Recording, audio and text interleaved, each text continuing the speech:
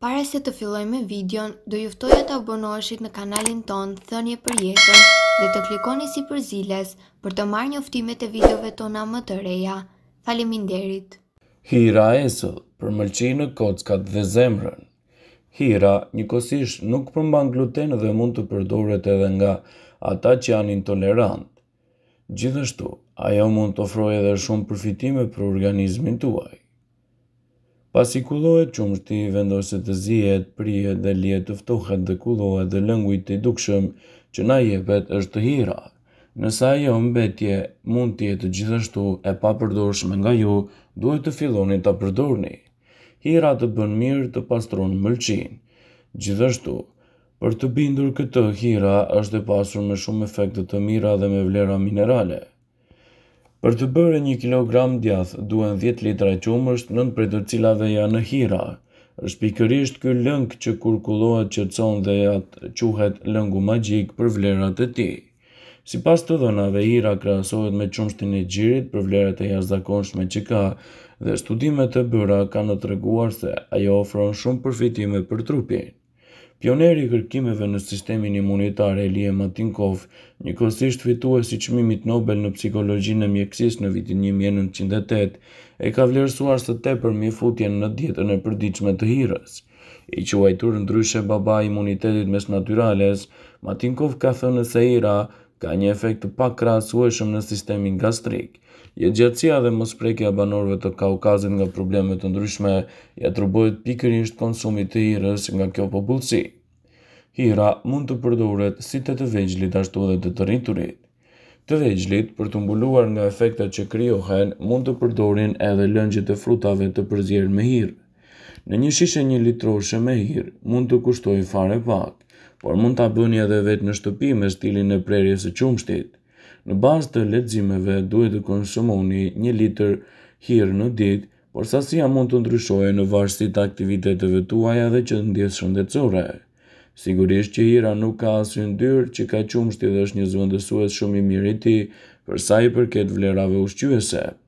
Nga studimet dhe burimet e konsultuara rezulton se Hira përmban gjashtëmbëdhjetë lloje të proteinave, po ashtu tetë minerale, vitamina kryesore ato të grupit B, aminoacide, enzima dhe shumë elementë të tjerë të shëndetshëm. Është pikërisht kjo përmbajtje që ka të bëjë kryesisht me qumështin e gjirit. Pija magjike ndihmon edhe në periudhën e prekjes nga problemet e kockave dhe osteoporoza, pasi furnizon kockat me ushqime të duhura. Ndërsa atyre që u pëlqen sporti, në vend të kokrrave energjike që marrin, mund të përdorin pikërisht këtë pije. Kjo për faktin se ajo përmban shumë proteinë dhe jep energji muskujve dhe të gjithë trupit. Ndërkaq, siç e thotë edhe gjyshja, hira pastron mëlçinë dhe është detoksifikues shumë i mirë për trupin. Zieni një litër qumësht e kur të jetë në vlim e sipër, hidhni një pikë limoni që të pritet. E lini të ftohet dhe ndani veç lëngun e tejdukshëm me ngjyrë sipër pra hirën. Hirën e hidhni në një shishe qelqi dhe konsumoni fillimisht nga një gotë në ditë. Pjesa që mbetet si salcë vlen po aq sa dhe lëngu. Një lugë e saj po të tretet në ujë dhe mund të konsumohet jep efekte pozitive në shëndetin tuaj. Hira është lëngu si ujë me ngjyrë të gjelbër shumë të çelur, që del kur pritet qumështi dhe kur kullohet djathi i njomë ose që nxjerr kosi pas mpiksjes. Ka disa lloje të hirës. Hira e zier, hira e qumështit, hira e djathit, e kosit dhe e gjizës. Duke qenë se shumë njerëz nuk janë në dijeni të vlerave ushqyese të shumta që ajo mban, e hedhin poshtë pasi kullojnë gjizën ose djathin. Ky produkt i qumështit përmban proteinë, laktozë, minerale, gjithashtu ai përmban kalcium, fosfor, magnez dhe zink. Ai gjithashtu përmban edhe vitaminën B2, vitaminën B6, vitaminën C, vitaminën K, por edhe aminoacide dhe yndyrna të shëndetshme për organizmin. Mineralet mbrojnë qelizat dhe parandalojnë një sërë sëmundjesh, si tensioni i lartë i gjakut, goditja në tru dhe sulmet në zemër. Proteinat gjithashtu parandalojnë osteoporozën. Ato rregullojnë nivelin e kolesterolit, parandalojnë formimin e pllakave bakteriale, rrisin masën muskulare, forcojnë imunitetin, lehtësojnë dhe rigjenerojnë mëlçinë. Mëlçia është organi i vetëm në trup që ka funksion rigjenerimi. Ky organ kryen një sërë funksionesh të rëndësishme në trupin e njeriut për ta mbajtur atë më të shëndetshëm. Studime të ndryshme kanë treguar se përbërësit e nxjerrë nga hira, sidomos proteina e hirës, Ka veti mikrobale antivirale, forcon sistemin imunitar dhe mund të mbrojë kundër sëmundjeve kardiovaskulare dhe gjithashtu të rrisë performancën e duhur fizike të trupit tuaj. Hira rekomandohet gjithashtu edhe për rënie në peshë, duke qenë se proteinat e saj ndihmojnë për t'u dobësuar dhe për të rritur masën muskulare. Përveç kësaj, ajo jep ndjesinë e ngopjes, duke ndikuar tek nivelet e hormoneve që ulin oreksin. Dikur hira ka qenë pija e preferuar në bujtina ose në kafene. Mesatarisht, për dhjetë litra qumësht fitohet një kilogram djathë dhe nëntë prej të cilave janë hir. Mund të themi me siguri se hira është po aq e shëndetshme sa edhe e këshillueshme të konsumohet sa qumështi ose kosi dhe dhalli, në mënyrë që të merrni përfitimet e saj në shëndetin tuaj. Përdorimi i hirës në dietën tuaj ushqimore mund t'i ofrojë trupit shumë vlera dhe minerale. Hira pastron mëlçinë dhe është detoksifikuesja shumë e mirë e trupit. Hira njëkohësisht nuk përmban gluten dhe mund të përdoret edhe nga ata që janë intolerantë prej tij. Gjithashtu, Pasi të lihet të ftohet e kullohet, lëngu i dukshëm që jepet mund të konsumohet. Ndër to, hira mund të shtohet edhe në përbërje të tjera për të rritur vlerat minerale. Hira të bën mirë dhe të pastron mëlçinë. Kështu thoshin nënat tona, po për fakt ajo është mjaft e shijshme për organizmin. Vlera dhe shijet e hirës janë unike. Për të bërë një kilogram djathë ju duhen dhjetë litra qumësht, nëntë prej të cilave janë hira. Është pikërisht ky lëng që kur kullohet, qetësohet dhe quhet magjik.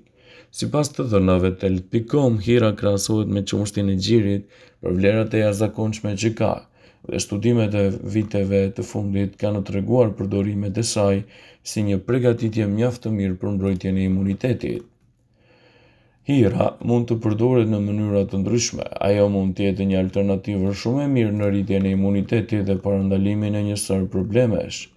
Përdorimi i hirës pastron veshkat.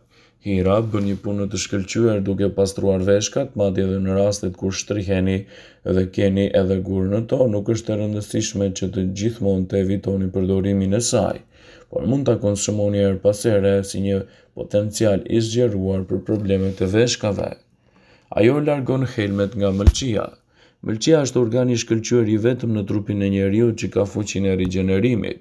Ky organ kryen një sërë funksionesh të rëndësishme në trup për ta mbajtur atë më të shëndetshëm. Studime të ndryshme kanë treguar se përbërësit e nxjerrë nga hira, sidomos proteina e hirës, ka veti mikrobale dhe antivirale, forcojnë sistemin imunitar dhe mund të mbrojnë nga sëmundjet kardiovaskulare dhe të rrisin performancën e aktivitetit fizik. Kjo pije e varfër në pamje, por jo në përmbajtje, ka beta-laktoglobulinë, e cila furnizon organizmin me aminothartira BCAA. të cilat ndihmojnë në sëmundje të avancuara të mëlçisë, në sëmundjet nga i thati dhe mundësojnë që të bëni një jetë më të gjatë dhe më cilësore. Hira, nuk ka asnjë arsye përse të mos jetë kryefjala juaj ushqimore. Për shkak edhe të vlerave dhe larmisë së madhe që përmban, Hira mund të shtohet edhe në përgatitjet tuaja më të mira. Kjo përmbajtje përmban edhe elementë të tjerë të elementëve të cilët ndihmojnë në cilësinë e organizmit gjatë verës. Ajo tonifikon muskujt dhe ka efekte dobësuese. Hira rekomandohet gjithashtu për rënien në peshë duke qenë se proteinat e saj ndihmojnë për t'u dobësuar për të rritur masën muskulare. Përveç kësaj ajo jep ndjesinë e ngopjes duke ndikuar te njerëzit me problemet që kanë me uljen e oreksit. Nëse ju merreni me sporte, në vend të kokrrave energjike që merrni, mund të përdorni pikërisht këtë pije, për faktin se ajo përmban shumë proteina dhe jep energji muskujve të të gjithë trupit. Hira forcon kockat dhe pengon osteoporozën, rregullon yndyrën në gjak, largon stresin dhe ofron shumë përfitime për trupin tuaj. Vëmendje, Informacionet në këtë video kanë për qëllim që të plotësojnë, të mos zëvendësojnë këshillat nga mjeku juaj ose ofruesi i kujdesit tuaj shëndetësor dhe nuk kanë për qëllim që të mbulojnë të gjitha përdorimet e mundshme masat paraprake, ndërveprimet ose dhe efektet e tyre negative në shëndetin tuaj. Pasi ta dëgjonit këtë video, do ju ftoja t'i bënit like dhe ta shpërndanit atë në profilin tuaj në mënyrë që të informohen dhe miqtë e tu.